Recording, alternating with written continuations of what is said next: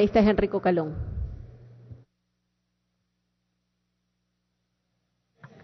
Señora vicepresidenta, señoras y señores legisladores, este gobierno quiso ponerle un parche a la problemática del desempleo para terminar con este proyecto imponiendo un disfraz. Con la actual coyuntura, lo que se planteó al inicio es un supuesto beneficio, pero tanto los trabajadores como los empresarios están decepcionados y defraudados de la normativa que se está proponiendo. El objetivo de esta no era fomentar la creación de nuevos empleos, sino proteger los existentes. Pero hasta para eso está incompleta. La propuesta del paro parcial tiene imposiciones, ahora rebajadas a siete, que no pueden ser cumplidas. Por tanto, no son eficaces y tienen un carácter inviable. Lo reconocen inclusive miembros del oficialismo. La más ilógica de todas, la de pretender justificar que existan en el ejercicio económico anterior pérdidas, dejando a un lado si en el actual ejercicio económico pudieran existir empresas que caen en esa causal.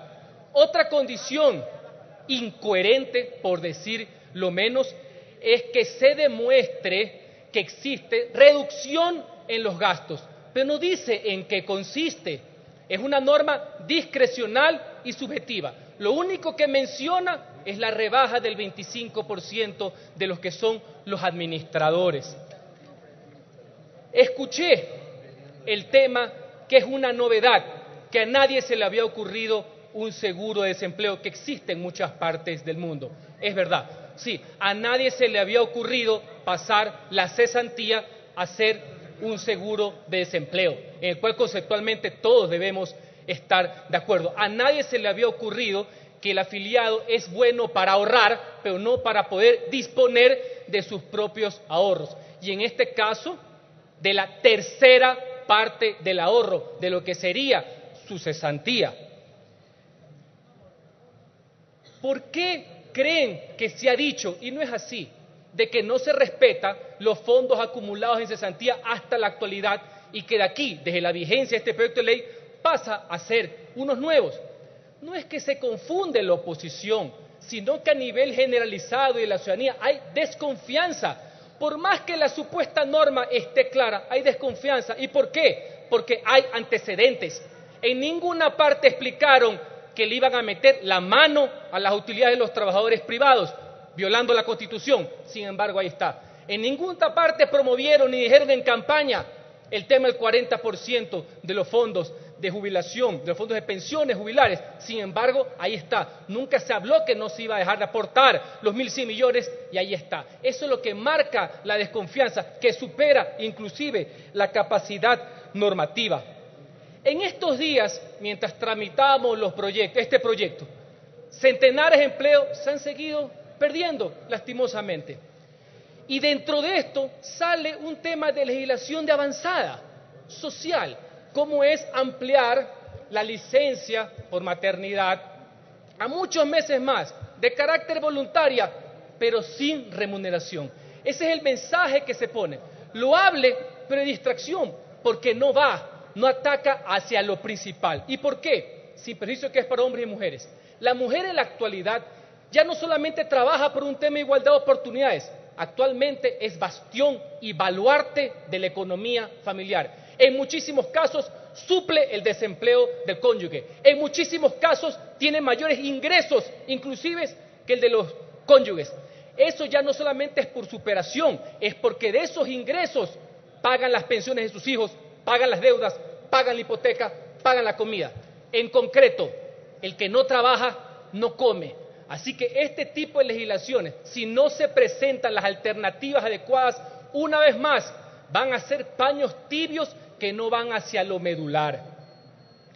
En virtud de aquello, en lugar de reconocer expresamente la serie de equivocaciones en cadenas y errores, como la ley de justicia laboral, donde se forzó el tema de la eliminación del contrato a plazo fijo para imponer una estabilidad forzosa nos ha llevado a esto, a que campee el tema del desempleo. y aún recurren a una serie de premisas que pudieran darse en un gran engaño colectivo, como ya han mencionado algunos asambleístas, que no incentiva absolutamente a nada. Es indiscutible que el dirigismo ha fracasado en su afán de querer concentrar y tener todo a su tenor. El que creía que podía hacerlo absolutamente todo, el actor protagónico de la economía, que de las esferas del poder o de los escritorios del centralismo podía planificar absolutamente todo, no ha llegado a nada. Después de vivir de la bonanza por parte del azar, del petróleo y de un milagro que no lo fue, vivimos la realidad. En esa realidad que se ha despertado el pueblo ecuatoriano y que el gobierno debe estar consciente, con las arcas vacías, producto del modelo, entre otras cosas, estatista, donde no se creía en el rol de la empresa privada y que fue permanentemente marginada y que ahora, de último momento, se la llama para tratar de una u otra manera de paliar la crisis. Para justificar esa ineficiencia, inclusive lo tienen redactado, le siguen echando la culpa a la dolarización. Quizás uno de los factores que conlleva a que todavía la economía no colapse y que no deba colapsar, porque como siempre lo he repetido en este pleno, a todos nos beneficia que al Estado y al gobierno le vaya de lo mejor. No se puede hacer politiquería con el fracaso ajeno porque conlleva el fracaso de todos los ecuatorianos. Así que dejemos de echarle la culpa a la organización, sepamos cuáles fueron los errores que se cometieron y no vengamos con las cantaletas del pasado, con citas absolutamente fuera de contexto, inclusive con deuda externa, cuando en este mismo pleno, lo conocemos en el presupuesto, se le destina en la actual deuda externa más de lo asignado a salud y educación. Somos incapaces de reconocer por esos dogmas y esas taras que se tienen contra la propiedad privada, de los mensajes profundamente lesivos que han llevado algunas normativas? ¿O acaso podemos desconocer que el tema de la plusvalía y la gerencia, impuestos que ya existen, pero cuyas nuevas normativas, casi de carácter confiscatorio, y con ese mensaje atacó directamente a grandes sectores multiplicadores del empleo del Ecuador, como son los sectores productivos y de la construcción. Ustedes lo saben, están conscientes, así no los quieran admitir públicamente, ustedes saben que ese fue un hecho que concatenó la actual crisis de desempleo.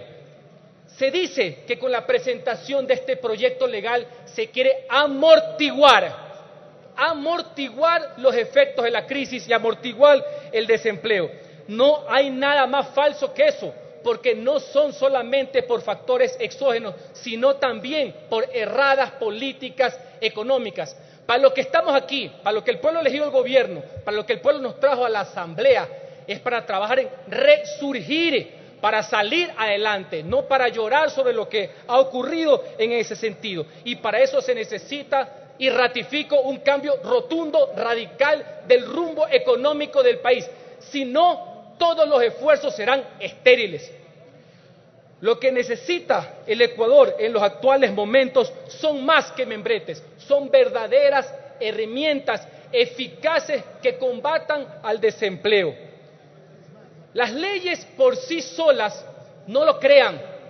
Las leyes por sí solas no dan el empleo que necesita el Ecuador, pero las leyes por sí solas sí lo pueden quitar y sí lo pueden perjudicar.